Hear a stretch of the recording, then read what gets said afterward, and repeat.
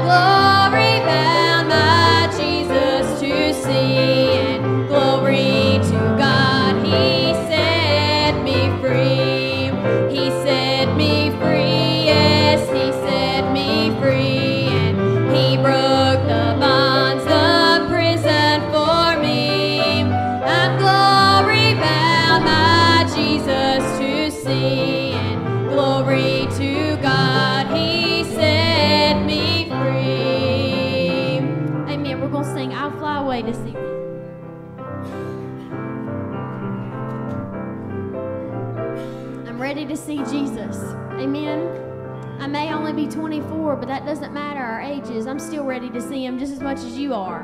Amen. he is the life worth living. He is. Amen. Some glad morning when this life is over,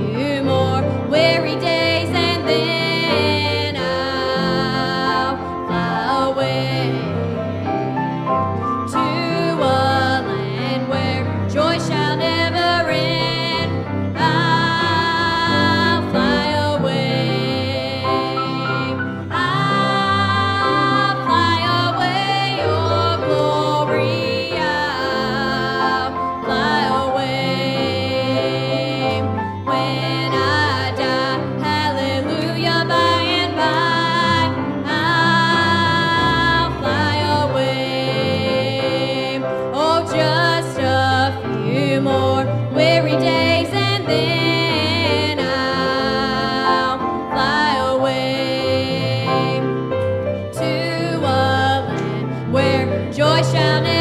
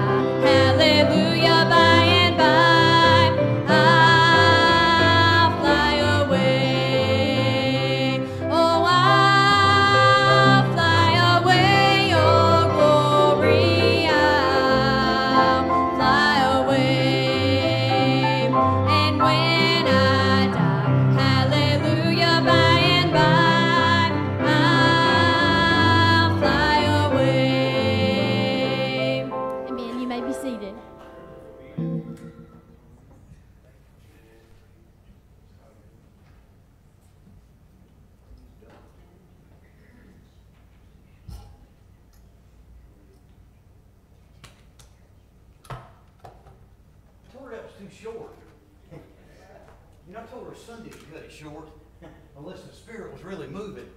Because when we have a guest speaker, they need to have plenty of time. Amen.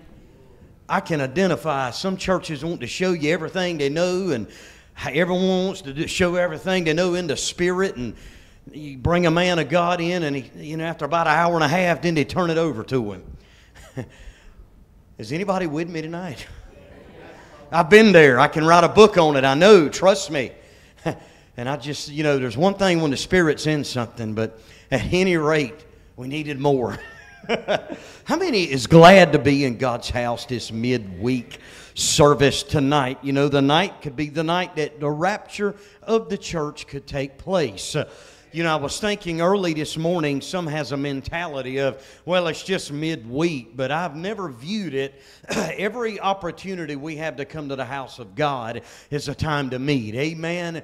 It's not about just, well, it's midweek, so let's just dress down and, you know, just to have a little informal meeting. I've never understood that concept because God's house and God's business is serious. Can you say amen?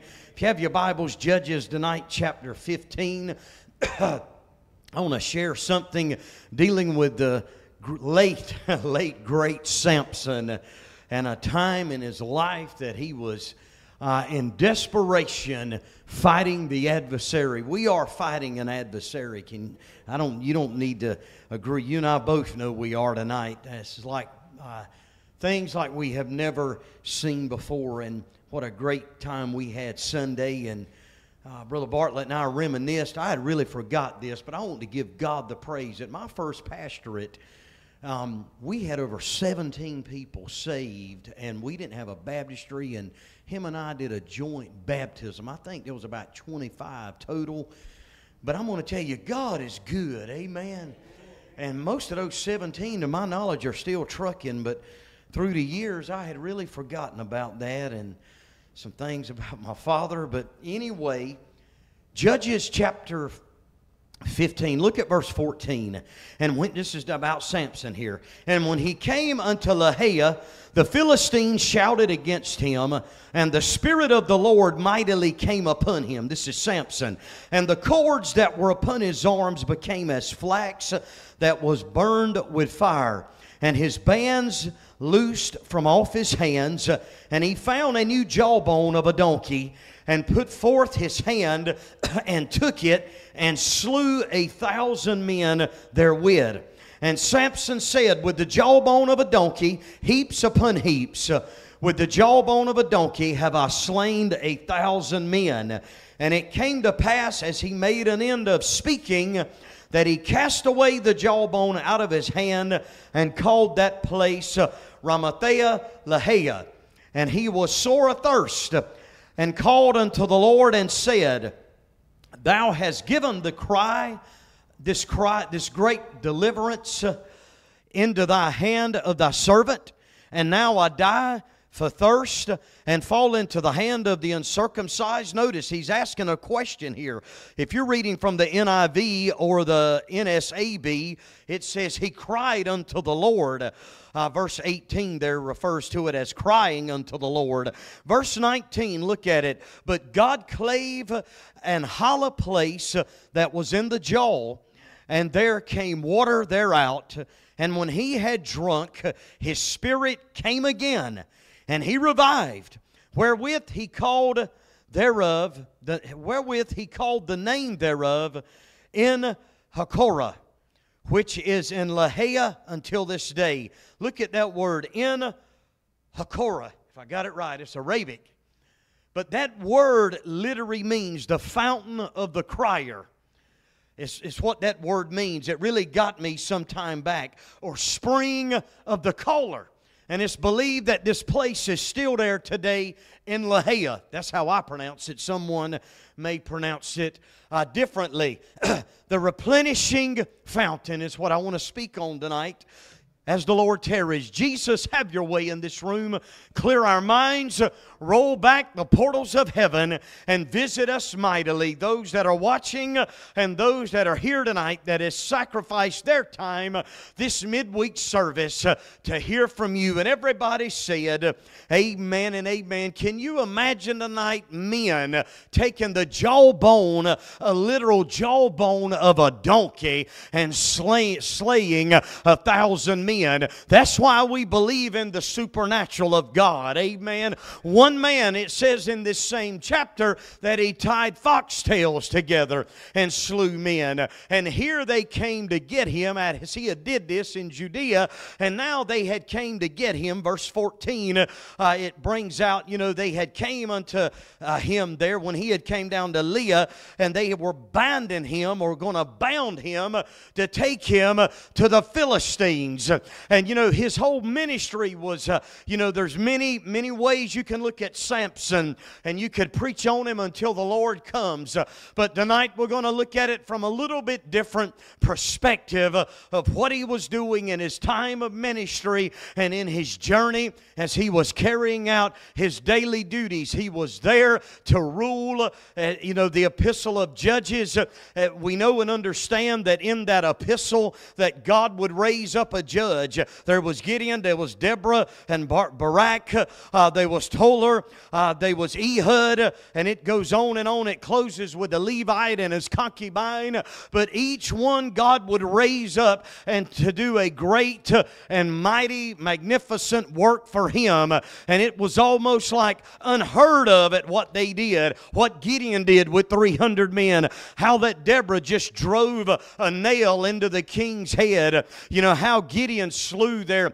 the, with 300 men, slew, uh, you know, them there at Media, at the, the Midianites. Uh, and it just is full of story after story how Ehud stabbed the king with a dagger. But now we get into a man that's just unheard of, an incredible Hulk of his day that had supernatural strength. And he was born to parents uh, that was not supposed to have children. His mom was barren, and his father and his dad was scared but the angel of the Lord showed up and said, You're going to have a son. But I want to talk about the fountain tonight because we're in a place of time that if we are not careful, we'll forget about everything and we'll forget about this fountain and we'll forget about the availability of this fountain under the new covenant dispensation. This fountain is forever, as Jesus said to the woman at the well, When you drink of this water, you'll never thirst again. As he said, Out of your belly, belly shall flow rivers of living water. This is a fountain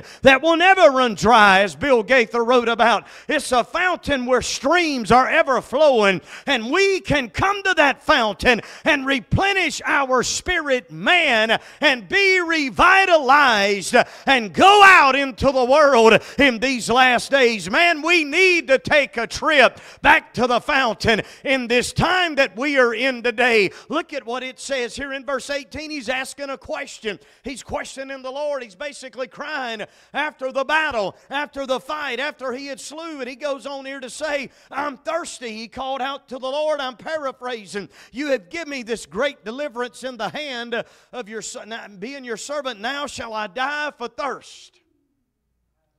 Many of us in this room are beat down and trodden. I've never, we have never experienced. We come out of a pandemic and we still are learning and finding. I found out that in our conf, one of, in one of our churches, in the Cornerstone Conference, uh, of a man that died, and eight days later, a preacher died, and eight days later, the pastor of a church, him and his wife, eight days later, died from this plague. So, not all celebrities died with it. But we come out of that into an inflation hike like we've never seen and the news is beyond depressing. Gasoline near about $5 a gallon. We don't have a leader in the United States of America. And I'm not here to get into politicalism, but I'm here to tell you, you can see it for what it is. We have never been in a time that Washington does not have a leader that cannot lead and has any kind of answer for anything other than blessed gun control. Democrat or Republican, forget it. Everything is biblically fulfilled and everything is ready and in place for the Antichrist to step in. What else does the church of Jesus Christ need to see in these last days? In the United States of America, a nation that was founded off godly principles and honor and, and, and, and you know democracy. And now we've we are at a time that, that we've never seen. We have leadership that just don't have any kind of solution.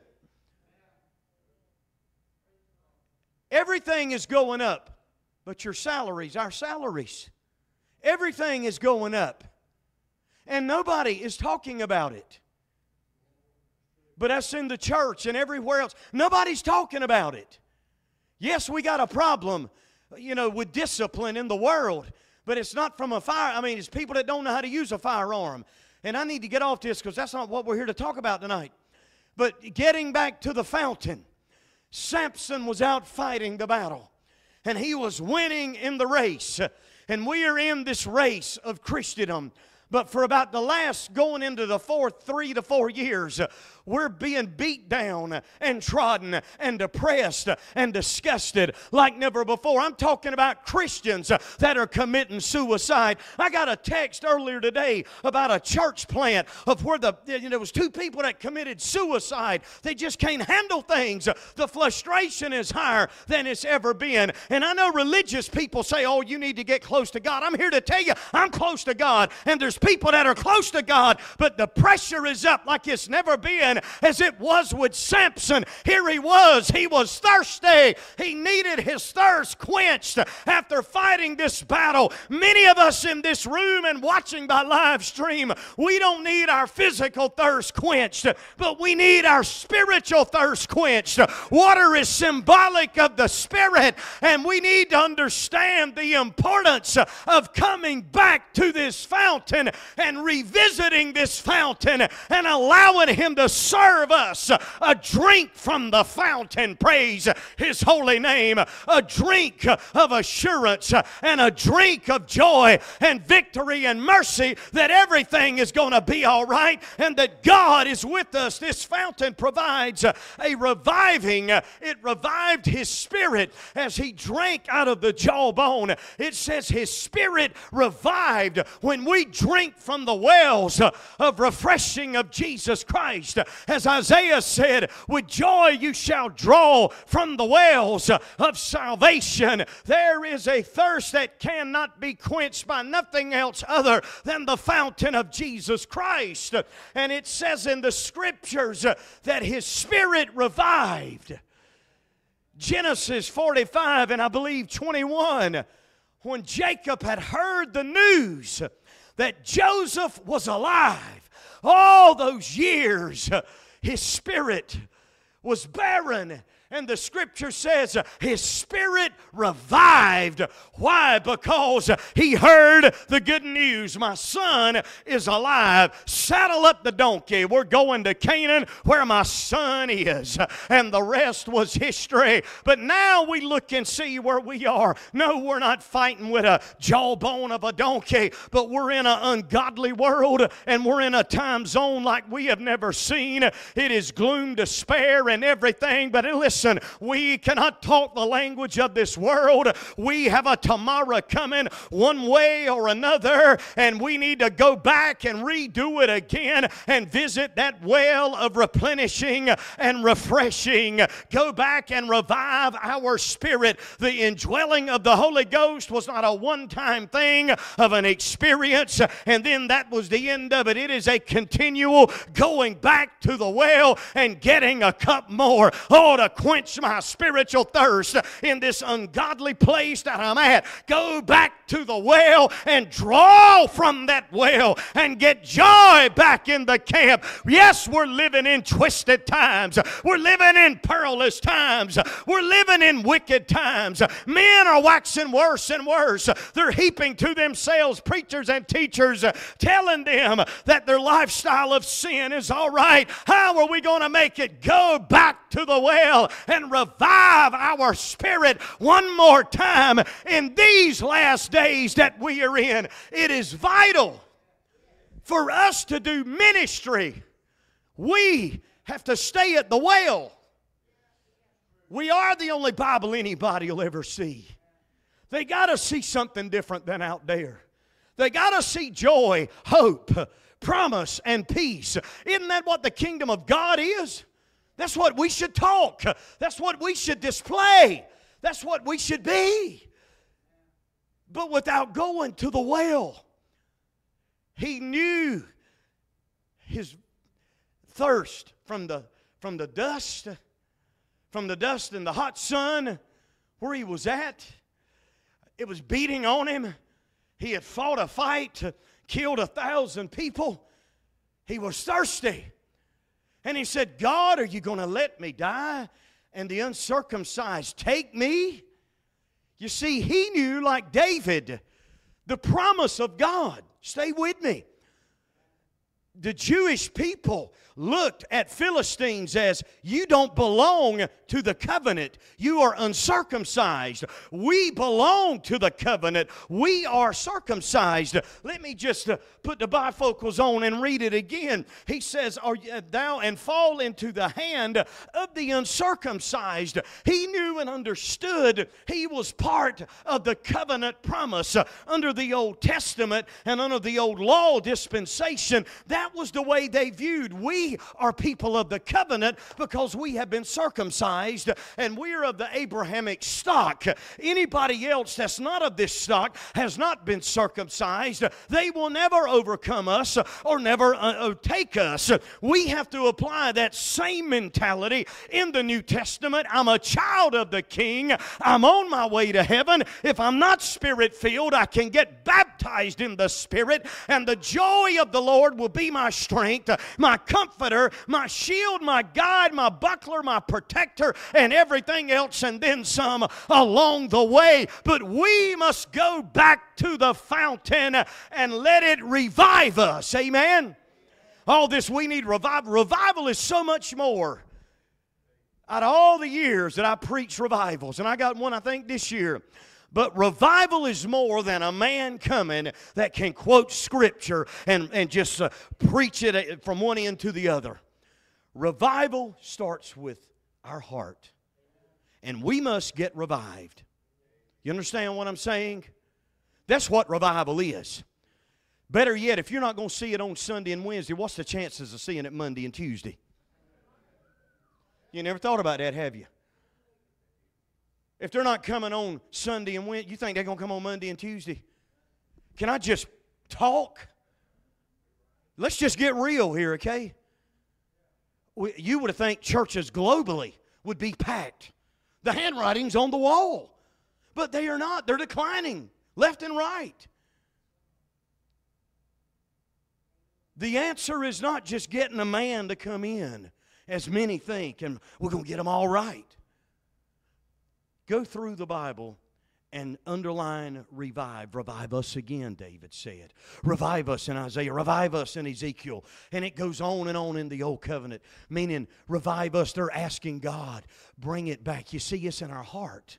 I mean, you got to have the preaching, don't get me wrong, and the anointing and all of the above. Yes, that is part of the makeup, but revival is not a man coming in and getting people's emotions worked up and get them carrying on. Because if you got the goods, honey, get that battery charged. You want me to tell you how to charge it? take it back to the well and plug it into the one that give it to you. Bless God, and you'll see some sparks, and you'll be talking in an unknown tongue, and you'll be praying in the Spirit. You'll be waking up at 3 and 4 o'clock praying in the Spirit, and you'll feel the Shekinah glory of God. Honey, if you need recharging, you just drag that thing and get you a jumper cable and stick it in that water of the fountain of Jesus Christ. And, buddy, you'll feel electromagnet, spiritually speaking, like you ain't never felt. Amen? Glory to God, I wish I knew this 20 years ago.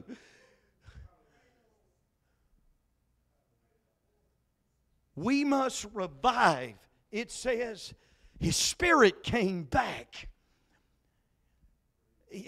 In the stuff we're in, there is a battle for our not only mind, but our spirit. And we got to keep our spirit revitalized and replenished. It says it, his spirit revived. There is nothing worse than having a barren spirit. We've all been there. We've all not had a shout. Things come our way affliction, heartache. Things right now. People trying to buy a house, can't buy a house. I mean, you know, people that's trying to make ends meet, don't know what having to sell stuff to make ends meet. And then we got a system that promotes laziness and promotes deadbeats, and they're getting a check weekly.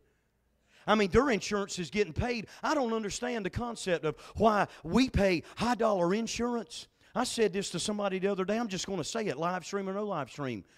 I don't even know why I'm even paying it because they don't they live off the government. They don't have to have anything, and they're gonna get the same health care that I'm getting and everybody else. Oh, don't it make you mad? Oh, it'll make you want to introduce somebody to the fivefold. There's nothing wrong with getting help if you need it. But I'm talking about we got too many people that is just full blown lazy in Jesus' name. I can't find a job. Oh, bless God. I never had that problem. Work found me. I didn't find work. It just had a way of rolling right on in. You think I'm going to believe this watered down, lazy society that we are in today? Kids are so programmed, they can't even look you dead in the eye and make eye contact. They can't even talk to you. I'm talking about adults. They can't even talk to you. They can text you or put a, a blessed letter in the mail, but Ken, they can't come to you and look you eyeball to eyeball and say, I got a problem with you. Or I don't like this. The Bible says, go to it, honey. But we have produced generations of full blown laziness. Thank God for us that was raised. You look a man or a woman dead in the eye. That's just it. Amen. But because of technology, they can't even look at you straight in the eye. And then they talk some language that's 10 feet over your head. What's that got to do with replenishing? If we don't stay replenished, we're going to lose our sanctification. That's what I'm trying to say. Because of the mess we're dealing with today. Notice what he says there. But go back to the well. Go back to the, the fountain. Praise his holy name. But it's a fountain offers refreshing refreshing and repentance. I want to read something out of Acts chapter 3 and 19. Repent and be converted so that your sins may be wiped away, in order that times of refreshing may come from the presence of the Lord. You see, this is a fountain that offers and specializes in repenting, forgiveness of sins. Jesus can and will forgive sin. And then there is a refreshing from that. Paul Peter said, when times of refreshing. You see, too many people name the name of Jesus and they even though after we've been saved and on our way to heaven that don't mean that we don't have to go back to the fountain and, and just say god i messed up i need forgive me i need to repent You see, repentance brings refreshing. You see what I'm saying? But carnality and hatred and, and, and, and, and all that kind of stuff, jealousy and pride, and, and me, I was reading a book the other day, and, you know, me, I, myself, three, three, three things right there. You know, many times, good old going back to the fountain of repentance will check us. Repentance brings refreshment. How many knows what I'm talking about? When we fail and mess up, when we go back to God and humble ourselves, isn't there a joy and a, a good sensation you feel in your spirit? That, that's what it's all about. It's not about running around, oh, I don't sin. I mean, eh, eh, just get real here, amen? But our, we're in a time that people don't understand. In order to get to heaven, you got to repent. In order to see Jesus, you got to change your ways. In order to have your name written down in the Lamb's Book of Life, you got to come out and come to Him. It's just that simple. I know that things has changed, but the plan of salvation has not changed. God is the same yesterday, today, and forever. Now, He's not caught up in legalism and all that nonsense, but there has got to be a repentative heart, and He specializes in, and the fountain replenishes and it brings that back and it brings a, a, a, a spirit of revitalization, but it refreshes the heart. See, too many, too many people that name Christ are hard hearted. You know, we talked about this Sunday after lunch. You know, some people just want to control everything. I think they think God's called them in a controlling ministry. You know, if you remember the story of the Ark of the Covenant, that's what happened with Uzzah. He saw, well, I'm just going to help him with the Ark of the Covenant. He ended up dying on account of it. You know the story, right? And David got fearful. David got mad, but he got fearful. He knew he couldn't get mad at God, so he got fearful.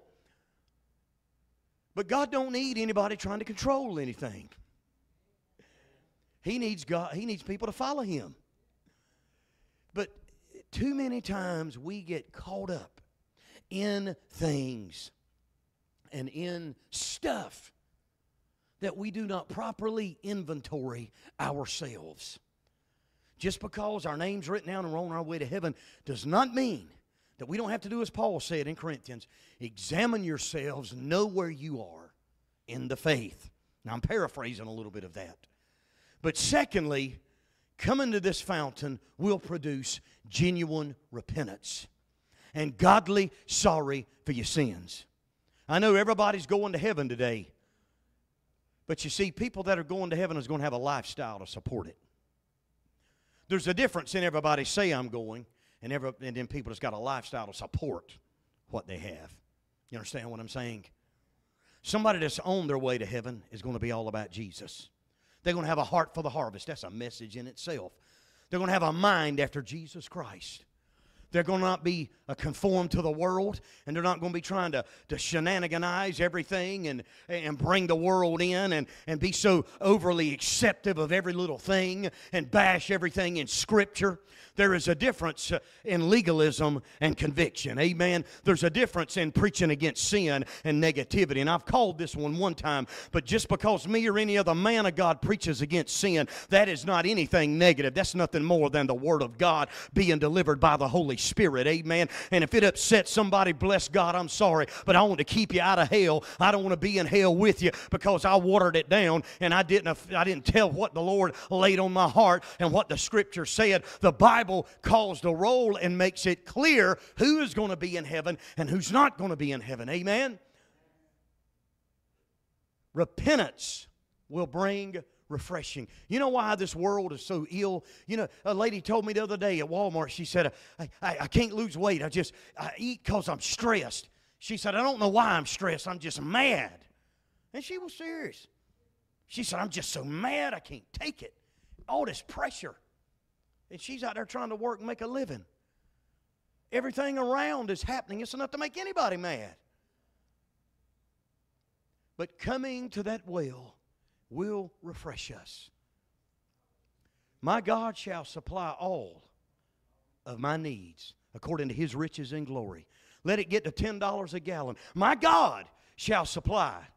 That's not name it and claim it. That is the word of God. They was famine in the land, and honey, they weren't no corn anywhere. But they saddled up and they got they got a hold of Jacob's family, and they said there's corn and Canaan and off he went. Why? He was God's people. He was God's personal. And anytime you read in the scriptures, everything may be falling down, but God's people are still standing level and going over. I'm here to tell you we are not going under. I'm not looking looking a lottery ticket to get me out of this. I pay my tithes. And the Word of God says, Prove me herewith if I will not open the windows of heaven and pour ye out a blessing that you will not contain. That's my answer. I don't need a 10, a 9, a 8, and a 12. I'm not looking for the Powerball, the Super Bowl, or any other kind of arch bowl to help me out. I know what the Word of God says. The problem is too many name Jesus, but they don't know the Word of God, and they don't live the Word of God, and they don't apply the Word of God. The Word of God is real. The Word of God has stood the test of time.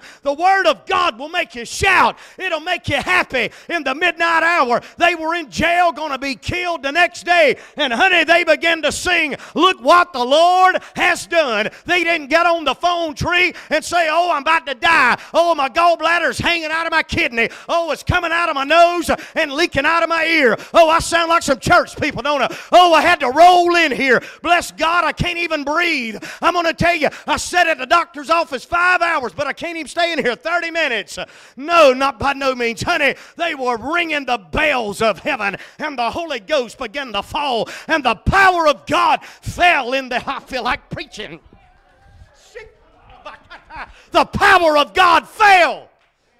Would to God that somebody would get a revelation of that now.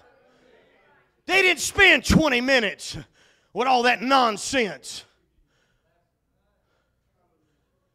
The well, the fountain will replenish.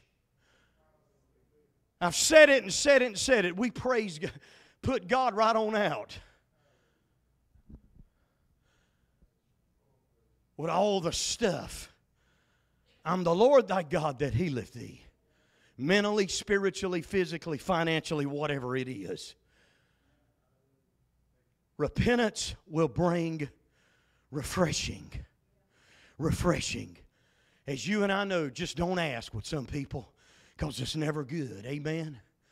Just going, you know, it's never going to be good. I told somebody not long ago, when some people get to heaven, they're not going to need a new body because they've had everything redone here. And I'm not talking about cosmetologic surgery for the women. I'm just talking about some's got everything replaced. I'm thinking, my what is real? What, what literally is left real on the skeletal system? We heard a testimony Sunday of an 85 year old Buddhist being, and I'd heard that story before, being healed, and it brought revival. He got out of the wheelchair. Why does it happen over there, Chris, and not over here? Because people over here just don't believe it. That's exactly why. They, they don't believe it over here. They believe they're going to get saved, but they don't believe anything else about the Bible. They ain't going to believe you, you can pray and get out of a wheelchair. Let me move on the fountain.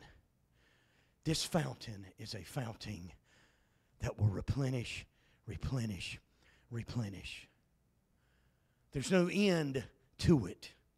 Revelation talks about the rivers of life. Ezekiel 40, what is it, 41, 42, talks about the rivers. You see, the river is flowing, it is continual, it is ongoing, it is unstoppable.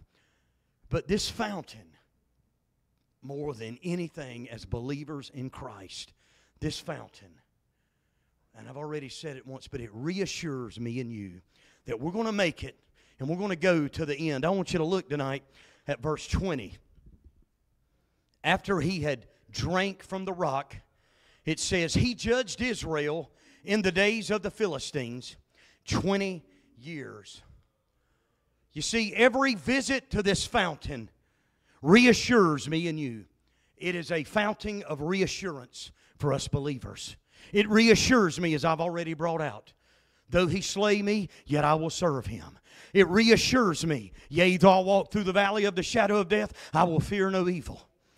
I mean, it just reassures me I'm the Lord thy God that brought thee out of the land of bondage.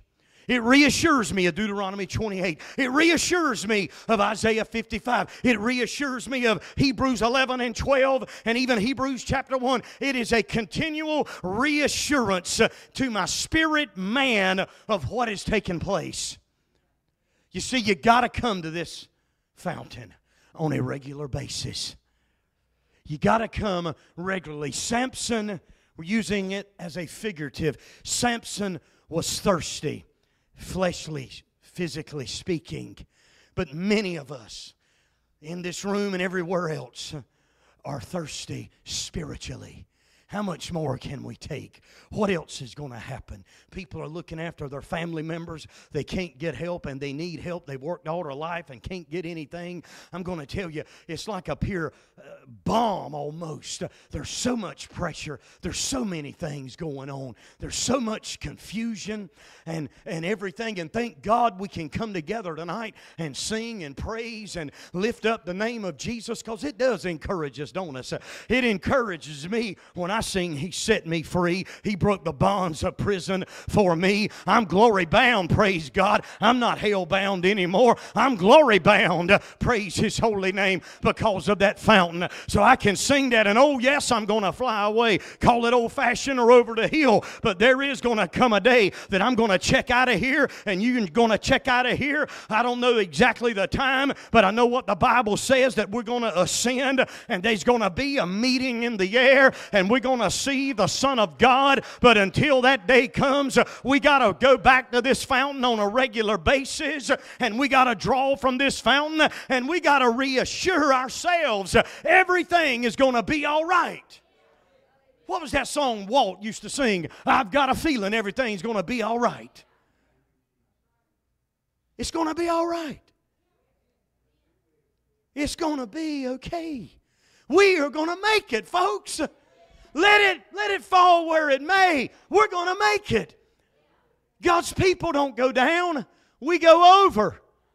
We don't go under. We go over from Genesis right up to Revel- the end of Revelation. None of God's people has ever went down. They've always went to the other side. He brought that out in the four evangels. Get in the boat. We're going to the other side. But even in Genesis, in the beginning, they went to the other side as early as Noah, then Moses, uh, then uh, Abraham, Isaac, Jacob, and Moses, and, and all and on and on and on and on. Even that great epistle of Ruth. I, I read it real quickly this morning. Even a Moabite who, Lord help me, Jesus, look at Ruth, the lowest of the scum, but she sold out to the Lord and followed that mother in law and said, I'm going to go where you go, I'm going to stay where you stay. And, buddy, her faithfulness landed her the man of men. Amen. And out of that lineage come the great King David who will rule and reign, and Jesus will sit on his throne in the millennial kingdom. You see what happened? Happens when we get a vision and a clear understanding of reassuring ourselves. I'm in this world, but I'm not of this world. I'm not planning on that system to do anything for me. I'm planning on the heavenly system to take care of me. And it's did it this far for many of us in this room. Many's in glory. This is a fountain and we need to visit it on a daily basis. We need to visit it regularly, continuously. Talk about revival.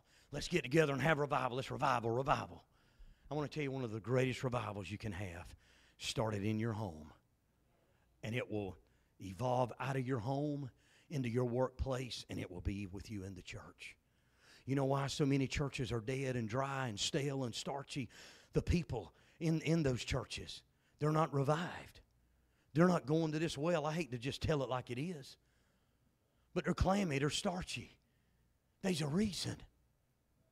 But one of many reasons is they're not visiting this fountain. Amen.